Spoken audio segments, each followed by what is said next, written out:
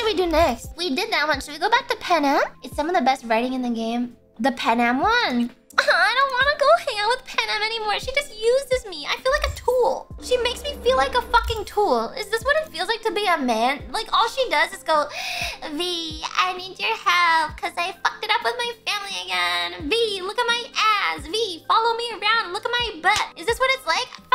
I hate this. I hate her. She's so mean to me. And she never appreciates anything I do. Waterbits. Didn't Tenma go from Okay, Kratos go to talk to Miguel O'Hara? rest. She loves Miguel O'Hara. She loves Miguel O'Hara. She keeps looking at his butt. Like, a lot. Her eyes are glued the onto that ass. It wasn't even that good of an pie. image.